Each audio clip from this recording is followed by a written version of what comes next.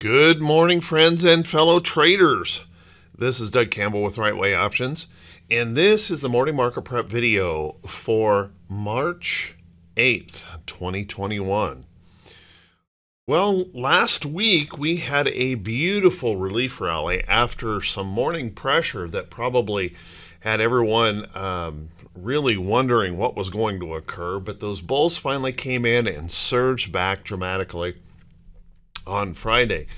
Unfortunately, we still have some questions yet to be answered. So, how about we grab ourselves something to drink, settle into our office chairs, and let's get ready for the Monday edition of the Morning Market Prep video. That rally back on Friday was wonderful to see that relief coming into the market. But we still have some questions left behind. First off, we left behind hammer patterns all over the market. There are huge hammer patterns all over the place in the market. Unfortunately, there's a couple things that we have to know about hammer patterns. A hammer pattern requires a follow through. Without a follow through, the hammer pattern really isn't valid. So, question number one can we follow through today, pushing on through to the upside? Um, can we get that done?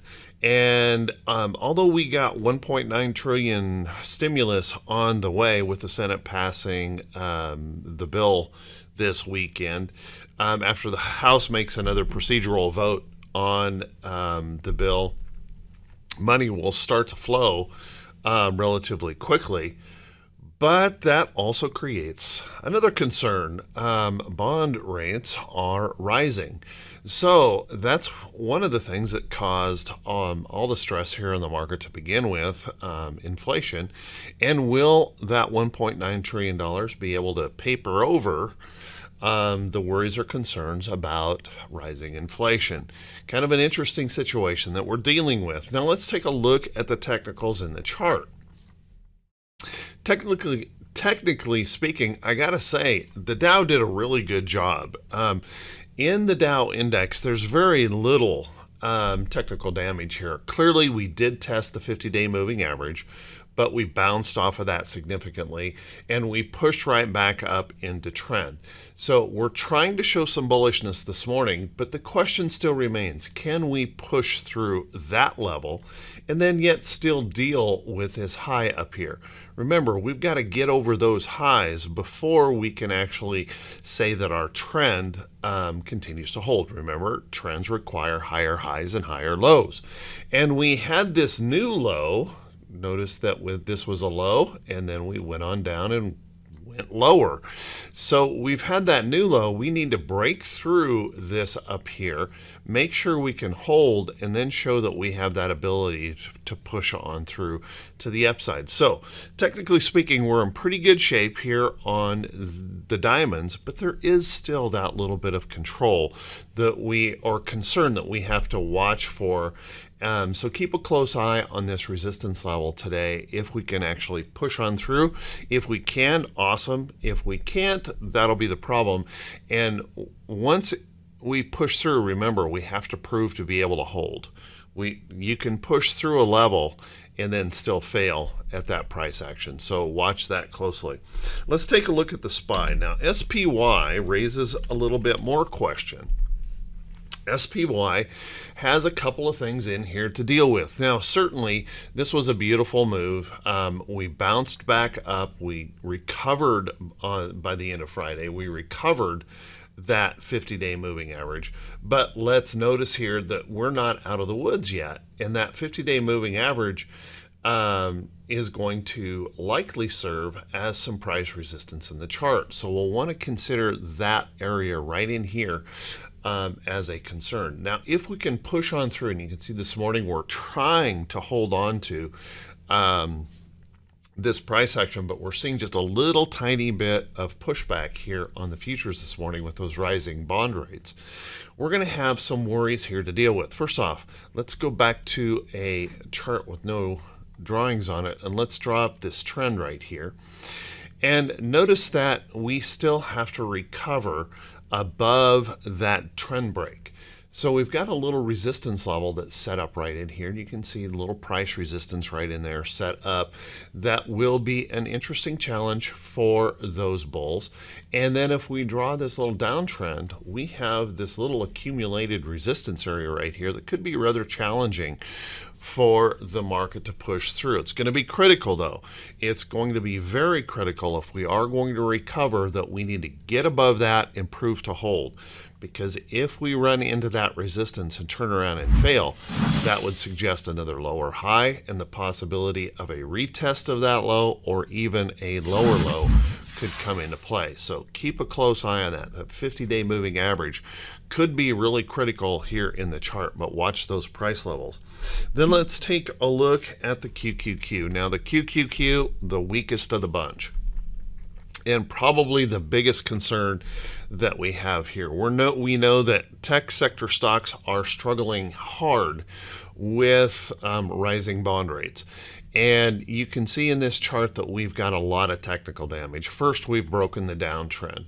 We have made lower highs and lower lows in this chart, putting in a, a full-on downtrend um, in, in place. We have price resistance, as you can see, right through here, price resistance that we still need to break above. Notice we did leave a nice little um, hammer pattern here on the QQQ on Friday, but we're not showing some follow through this morning. Notice that we're showing a little bit of bearishness here this morning. We need to be able to push on through. So we've got to deal with this price resistance in the chart. We need to break above that downtrend and hold, and then we could be um, copacetic. Everything could start showing signs of recovery um, coming back up.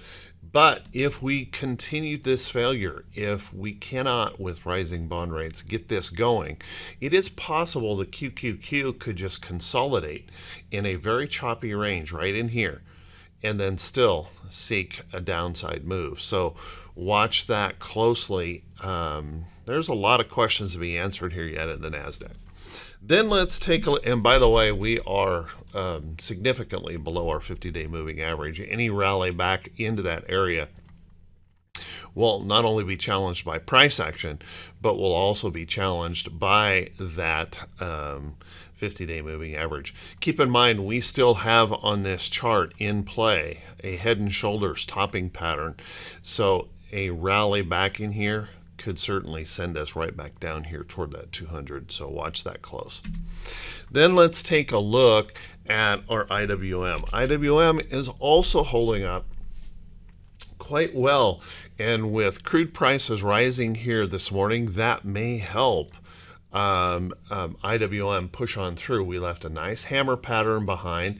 Keep in mind that we have a bit of a resistance level in a couple places in there that we need to get back above and we still have this modest downtrend in play here. So we need to deal with these price resistance levels get through that and hold and then we could be in good shape. Now keep in mind I don't want to see it occur but if we fail if we're unable to break through here don't rule out the possibility that today, tomorrow, next day, we could see a retest of these lows. Um, remember, uh, double bottoms are not uncommon. So a push down into there could be in the cards yet. Watch carefully for that. Let's take a look at the VIX the VIX had a great pullback with that beautiful uh, rally on Friday. Nice little pullback, but let's kind of keep in mind we haven't broken this little uptrend um, in that chart. And at the end of the day, we pretty much held on to price support in there. So if those bulls can come in and really defend and push these hammer patterns on through today, there's that possibility that we could break on down and break through that um, support in the VIX. However, if those bears fight back, and I do expect those bears to be a little bit more tenacious than they have been, they got some work done and some technical damage made in these charts. So now they want to defend. And if they defend in here and we hold this area, just kind of keep in mind, um, that's where some serious selling could begin if they cannot hold these lows. Let's take a look at our um, economic calendar for today. Now, we don't have a whole lot going on here on today's economic calendar, and that is nice. Um, we'll want to, oh, you know what? I forgot. Give me just a second. I forgot to mention T2122, and we do need to look at that because T2122 has been helping us out quite a bit. Um, T2122 helped me, at least in right way options, to call some long trades um, on uh, the, on the end of at about the Thursday on the close of Thursday, and then we picked up um, some more trades um, um on Friday that finished the day very very bullish um, nicely profitable. But we were down here in this bearish zone and then we suddenly shot back up. So T2122 gives us an interesting picture here today in that we do have upside potential, but notice how far we've gone to um, cover that big move up that we may be back into a short-term overbought situation pretty quickly if we continue to rally. Let's also make note that we have opened a big potential door to the downside if those bears come in and attack, there's that possibility that we could still slip. So watch that close. Then, if we look at our um, calendar today, we really don't have anything in here um, to be uh, particularly worried about. We do have some short term bill auctions. Um, we know that the FOMC has got those covered, so probably not much to worry about there. And honestly, we have a relatively light week on the calendar. Notice that we're going to have CPI in here, those jobless claims, those pesky weekly claims and then um, uh, the PPI final. So, not a whole lot in here on that um, economic calendar to really create a lot of uh, problems for the market. So we'll we'll just want to keep an eye on that, but it doesn't look like it's going to be too rough of a week on that calendar. Now on the earnings calendar, we have um, 68 or so companies reporting earnings today but our notables are really starting to shrink. Um, not not nearly as many notables as we have had here um, recently. So let's take a look at a few of those. Um, today, um, CASY, Casey's General Store, will be reporting today. And they've got a nice bullish pattern in this chart. Notice a nice little pullback holding that trend and support. Bullish if we can get good um, results on those earnings reports um, that could just push right on up. There's actually a pretty decent little buy pattern right here on Casey's. Watch that close. TACO, Del Taco will be reporting today. And as you can see, holding up in a nice little upside trend. There we go, showing bullishness, trying to break these uh, oil above new highs and holding in there nicely. Actually, nice little potential buy pattern showing up in here. So watch for that bullish action on those results. Uh, BNFT. FT. BNFT will be reporting today. We'll want to keep an eye on that. Um, holding in this nice little trend. Um, cut some price support in here, so we have a rather bullish pattern if those bulls, if we get a good report, and that could push on through. We have um, NCMI. NCMI. Now this one here, a little bit more of a challenge. Not it is bullish in the short term here, moving in the upside, and we've got some support in here. But this may have a little bit more challenge. And notice our price action is pretty whippy in here, so may not be the best. And being a little guy, um, it was kind of questionable whether I should put it on the on the list or not today, but there it is. How about SFIX? SFIX we'll want to keep an eye on. Um, retail has been really, really strong here um, recently. And if we can hold in this pattern, hold that trend, there is that opportunity that Stitch Fix could move on higher. Um, NIU is another one you want to keep an eye on. NIU. Now this has started a little bit of problem here breaking down through that support and breaking that trend so we'll want to watch that this morning and the last I have on the list is PVAC um, to keep an eye on. So watch that one. This is very, very bullish, very strong, pushing up into some price resistance levels in the chart, as you can see. We'll want to see if that can push on through this morning. Oil and gas obviously very very strong here in the market um, at the moment. So keep a close eye. Let's take a look at some stocks that could be setting up. But before we do that guys if you could do me a favor. If this is the first time you've seen these videos and um, you are getting some benefit out of these, please do me a favor and click that subscribe button on YouTube and also click that bell icon when it pops up so that you'll be notified every time I post one of these videos. And if you find these videos to be worthy, if you could do me a favor as well, click that thumbs up button, leave a brief comment. We have a lot of folks that watch the video that don't actually um, leave comments. Um, and I understand that. It's kind of a pain in the neck. But if you get the time, um, please do that. It helps the channel to grow. And I just want to say thanks to everyone who does take the time to do that. Also, if you notice below the title of the video, there is a link where if you want to support the channel, um, um feel free to click that link. You can buy me a coffee, and I don't actually buy coffee with that. Those are those funds will actually go to improving the channel, adding more content and equipment, so that I can do a better job on the channel. So um, thank you so much for those. Just a huge shout out to those who have used that link, and um, I truly, truly appreciate it. You guys are awesome.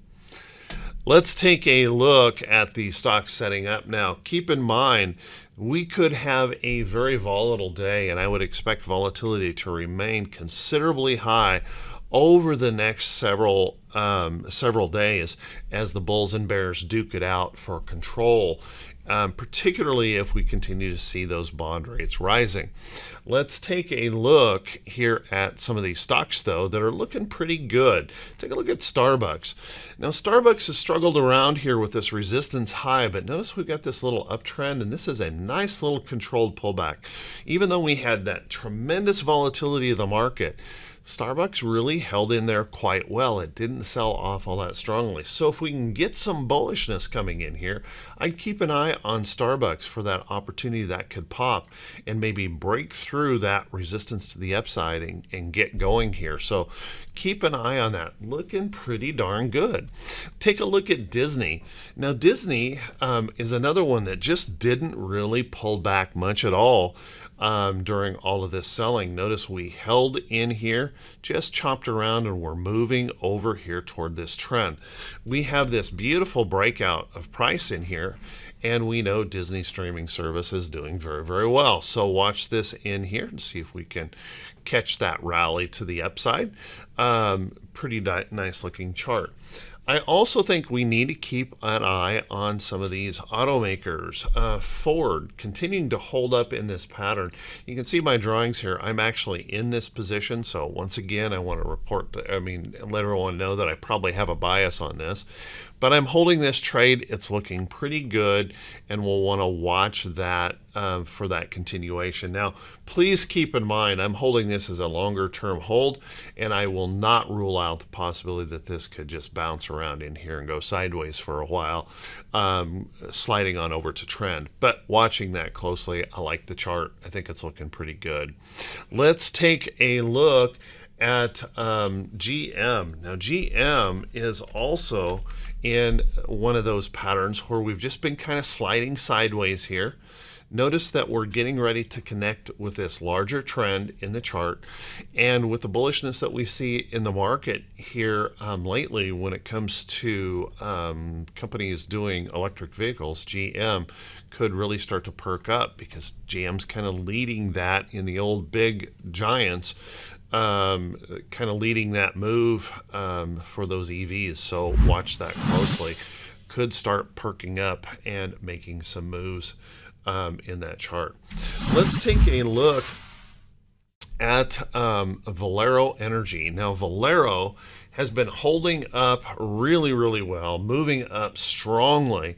And if oil sector stocks are going to continue to move up, if we're going to recover in this re- economy, then we're going to need more refining um, likely um, in the market. So keep an eye on this. We're pushing a resistance level in the chart. I wouldn't be at all surprised to see this continue to rest or consolidate out here sideways and then potentially move on through in that chart. So watch that closely. Could be upside opportunity there. I'm going to jump over just really quickly to longer term thought process here. First off, take a look at Mo on the daily. Notice I've been mentioning this as a potential longer term trade. And one of the things we've seen when the market gets a little bit funky here is a um, a lot of rotation is starting to begin into these big divvy payers. Um, so keep an eye on that. But Altria, Altria rallying up nicely. And on this weekly chart, my goodness, that is a beautiful upside move. Popping through that downtrend, looking great. Um, I've been talking about this one for a while. We've got nice profits in this trade. So you might want to keep an eye on that one. You might also want to consider 3M. Now, I picked up some 3M and I added to my position in 3M. Notice this beautiful downside, uh, downtrend break and this hold. Beautiful little bullish pattern here where we're holding into that price and moving up again. A nice divvy payer starting to perk up in the chart. Now, this trade isn't quite ready for prime time yet, particularly on the weekly chart but we saw a major surge last week in AT&T. Let's take a quick look at that daily first. There was that big surge back up, and this is just one of those things where some of these big divvy payers are starting to perk up in the charts. Keep an eye on that.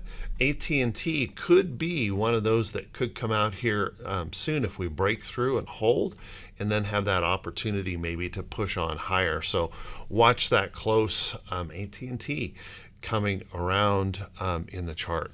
So there's a few um, stocks for you to consider to think about. Um, some I would I would really take a look at um, some of those defensive sectors right now. They're really starting to turn around and come back up. It may be something um, worth watching um, because if we are going to get a little bit scary in the market, and right now Dow futures are back down 55 points, um, if if we start to get spooked, we could see a lot of these um, conservative stocks um, kicking up. So um, watch that close. Watch that close. Be careful, guys. Plan carefully. Don't just rush in with the total buy the dip uh, mentality here. That works until all of a sudden it doesn't. And if you've been chasing that buy the dip here recently, you've been getting punished pretty heavily in your accounts. Be careful with that. Um, I'm not exactly sure those bears are going to give up as easy as they have before. So watch carefully. With that, everyone, have an awesome, awesome day. I wish you very, very great results in your trading, and we'll see you right back here bright and early Tuesday morning. Have a great day, everyone.